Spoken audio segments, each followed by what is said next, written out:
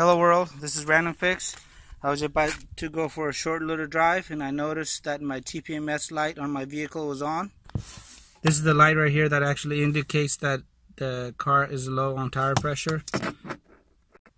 So I went and checked all the tires and I uh, noticed this one was actually uh, looking a little low and the tire pressure on the front supposed to be at 35 and the rear is supposed to be at uh, 33 on this car.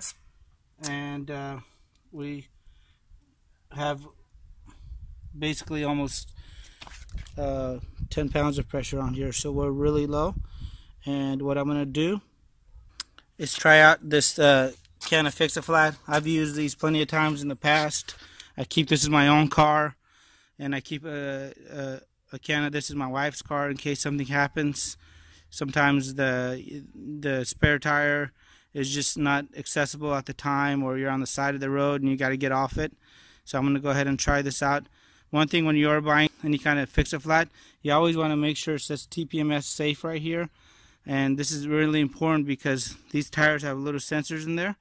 And then uh, what it does is relays information back to the computer letting it know that if it's got the correct amount of tire pressure in there and then get the larger one uh, can that's made for an SUV tire versus the smaller ones that are made for cars.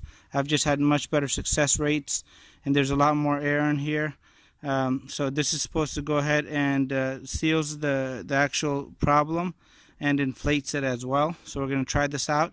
And the most important thing is when you're doing this, before you go attempt to put this in, if you have uh, the chance to do it, you want to see if there's any nails in the tire, and you want to have this valve at, a, at the 6 o'clock position, so we want to have it down here. So I'm going to slowly back up this vehicle.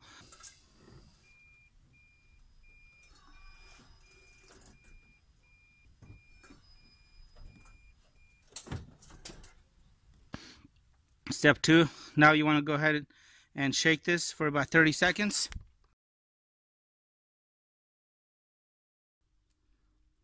Alright, so I think that's 30 seconds now. It's all shooken up. Before I put this in, a couple of things I want to point out to you is you want to make sure you have a way of being able to drive the vehicle for at least 5 to 10 minutes. And that way the sealant's going to go and coat the inside of the tire and get to wherever's whatever's leaking. You do not want to let this just sit in there.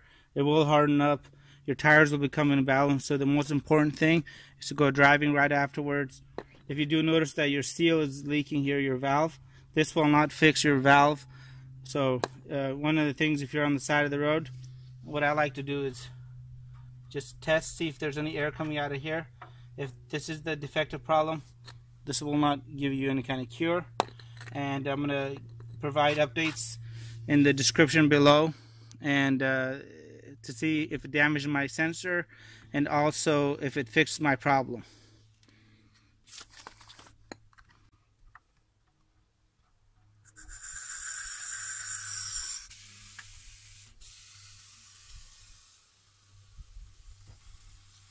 What I like to do is keep it shaking when I'm putting it in.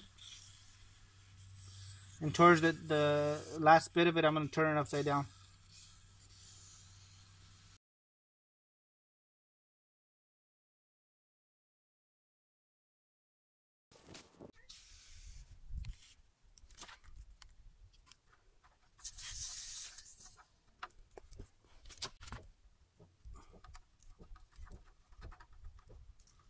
Alright, let's go for that drive. So immediately I'm driving the vehicle. I'm going to take this for a nice uh, 5 to 10 minute drive to make sure that the sealant really goes ahead and uh, spreads around. My TPMS light is still on the vehicle and I'm going to keep you guys updated. So you periodically want to go uh, and inspect the, the, tire as you're driving. Uh, this is five minutes later and uh, the rim is not riding on the tire which is great and I'm going to continue driving. I'm going to come and do another inspection. The tire so far looks good again. This is about 10 minutes into it. I just got back home. I'm sure I'm a little low on air so I'm going to put some air in the tires.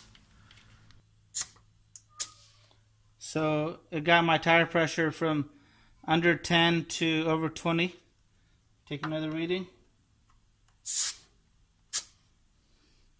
So yeah, over 20.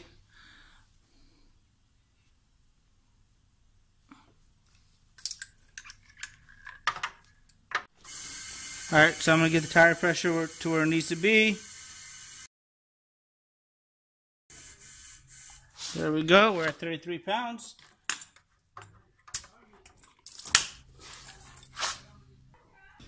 Let's go see what happened with the TPMS light, if it's still uh, on.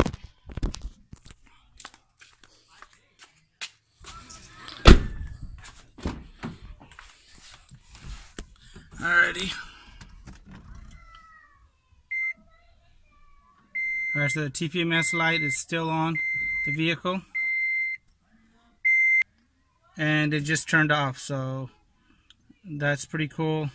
What I'm going to do is I'm going to provide updates in the description below within two weeks to let you guys know how it worked and if the light stays off and if I uh, was able to actually fix the problem.